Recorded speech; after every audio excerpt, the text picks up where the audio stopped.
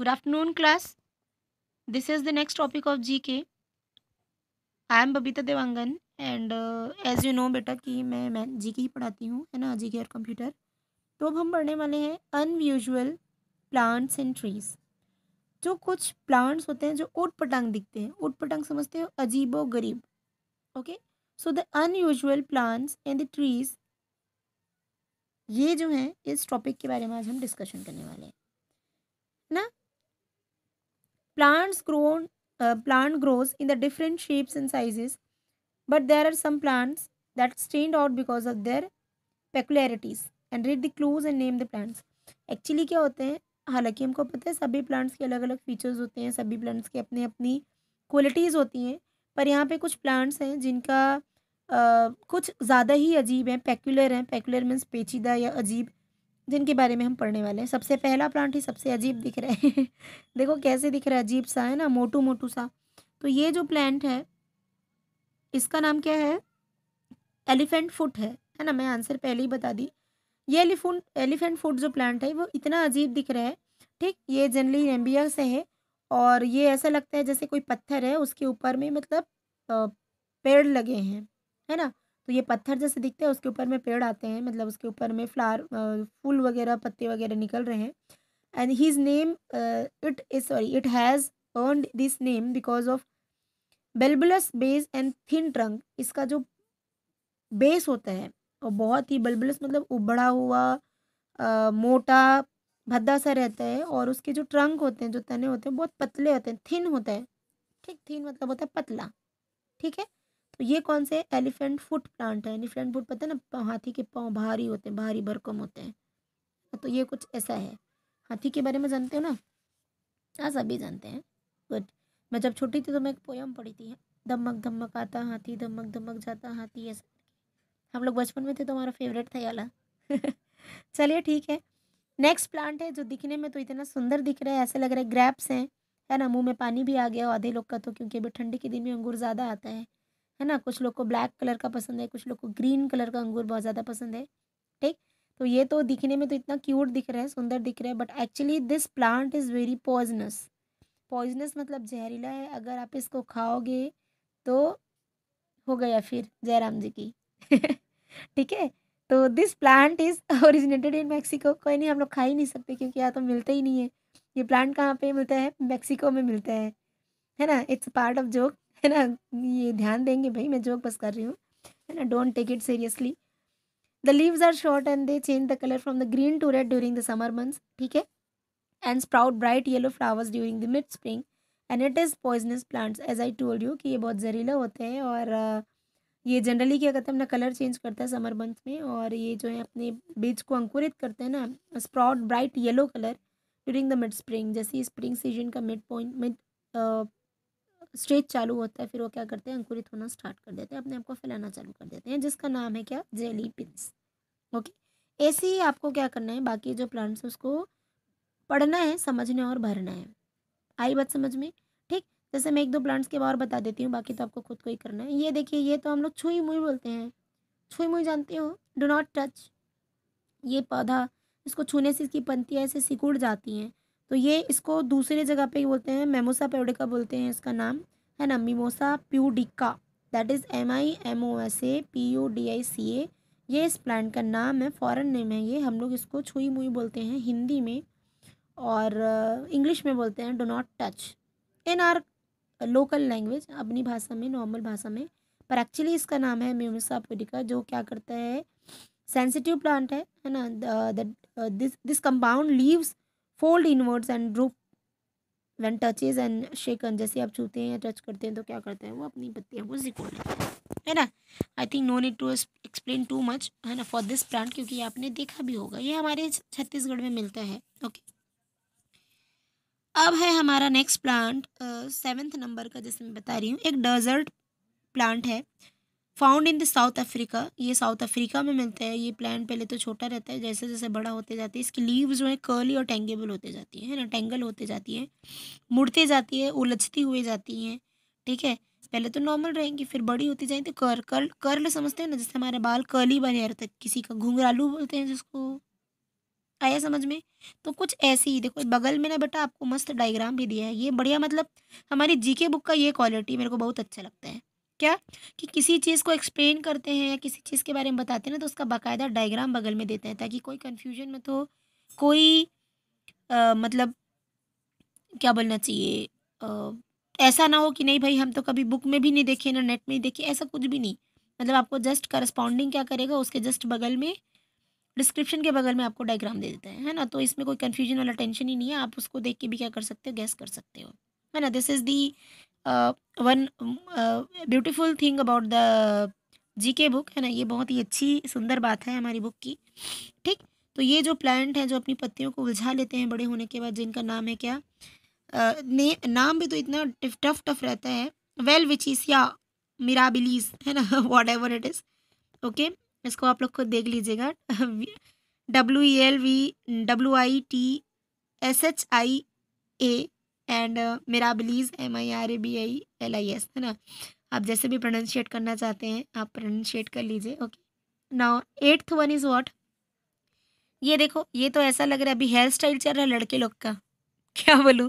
ये इधर side side में पूरी कटिंग रहती है और बीच में से झब्बू झब्बू बाल रहते हैं ना? इधर अगल बगल से लगते हैं, पूरे बाल गायब हैं, चंदवे हैं ना? दैट्स कैनोपी कैनोपी मतलब होता है चंदवा, ठीक? तो ये ऐसे प्लांट है जिसका पूरा आइट साइड में गायब है और ऊपर में एकदम झब्बूदार है। अभी हेयर स्टाइल चल रहा है, पता है कि नहीं?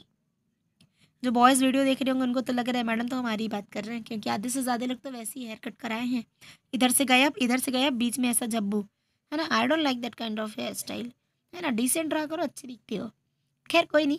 फ़ैशन के साथ भी कभी कभी जाना चाहिए ओके ठीक है डोंट टेक इट पर्सनली मैं किसी को बोल नहीं रही हूँ। चलिए, अलग बात है। तो ये जो पेड़ है, वो आपको अम्ब्रेला के जैसे दिख रहे हैं। दिख रहे हैं? इस पेड़ का नाम क्या है? ये डीप रेड कलर का होता है basically and when it dried into resin है ना, वे ये क्या होता है? सूख भी जाते हैं। तो इस पेड़ का नाम क्या है? ड्रैगन्स ब्लड ट्री इसका नाम ही है ड्रैगन ब्लड ट्री जिसका कलर क्या है? रेड कलर का, है ना? ऐसे ही आपको क्या करना है? ये जो है एक्स्ट्रा इन्फो इसको आपको पढ़ना है और समझना है। अगर कुछ डाउट हो तो आप मुझे तुरंत पूछ लीजिएगा okay the next one is Indian reformers India has always been a land of social reformers yes they manage to bring the revolution by making the radical changes in the society yes of course ये जो Indian reformers हैं उन्होंने क्या किया है? हमारे जो country हैं उसमें आ, हमारी कंट्री के अंदर मतलब हमारी सोसाइटी में बहुत से चेंजेस इन्होंने लाए हैं। है ना? तो कौन से चेंजेस रेडिकल चेंजेस मतलब एक्सपोनेंशियली बहुत सारी चीज़ों को बदला है। एक्सपोनेंशियली नहीं बोलना चाहिए मतलब बहुत सारी चीज़ों को बदला है। और इन्हीं के कारण से आज हम अभी मतलब एट प्रेजेंट इतने इंडिपेंडेंट हैं और सही तरीके से रह रहे हैं। बहुत सारे रूल्स और रेगुलेशन को फॉलो कर रहे हैं। जो रूल्स रेगुलेशन दिए हैं या जो हमें जो रेस्ट्रिक्शन था गर्ल्स के भी पहले गर्ल्स को तो पहले बहुत रेस्ट्रिक्ट करके रखे जाते थे। तो ये सभी चीज़ों, हमको जो फ्रीडम मिली है, वो इन्हीं सभी जो फ्रीडम फाइटर्स हैं या जो सोशल रिफॉर्मर्स हैं, उन्हीं के कारण से मिला है। तो उसके बारे में हमको जानना बहुत ज़रूरी है और हमको जानना भी चाहिए ओके पहला है first one he is consider as a of the modern Indian renaissance renaissance and he is also founded the Brahmo Samaj Brahmo Samaj बोलते हैं I think in eighteen thirty name him तो राजा राम मोहन राय जी हैं, जिन्होंने modern Indian residence की, जो वो स्थापना की, है ना? और इसको ब्रह्म समाज के भी फाउंडर हैं। नाइनटीन सॉरी एटीन थर्टी में इन्होंने क्या किया था? फाउंड किया था। Okay so his name is what Raja Ram Mohan Roy. इनके बारे में बताने का ज़रूरत है। है ना? ये तो हर कोई जानता है, और अगर नहीं जानते हो तो फिर तो गड़बड़ है भाई, है ना? आपको जानना चाहिए। तो I am not going to read the clues about his famous personality है ना? इसके बारे में या इनके बारे में पढ़ने नहीं चाह रही हूँ, आप खुद को पढ़ना है इसको। ना the next one is what fourth often called Acharya he is considered the national teacher of India अरे वाह, देखिए नेशनल टीचर कौन है? तो विनोबा भावे जी हैं, जो नेशनल टीचर कहलाते हैं ओके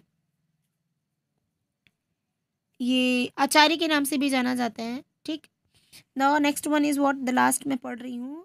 सी सेट सी मतलब कोई गर्ल की बात हो रही है, किसी मैडम की बात हो रही है, किसी वुमन की बात हो रही है।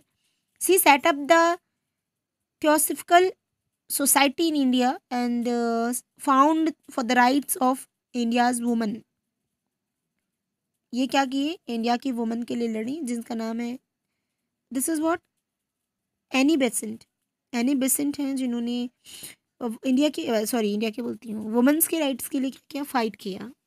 आ रहा समझ में? The next seventh one is what he was the Indian society worker known for his rehabilitation of the poor people suffering from leprosy तो ये कैसे सोशल वर्कर हैं जो लोगों के लिए स्ट्रगल किए, जिसका नाम है बाबा आमटे। ठीक? तो ये सभी चीज़ें आपको पढ़नी है, समझनी है और फिल करनी है।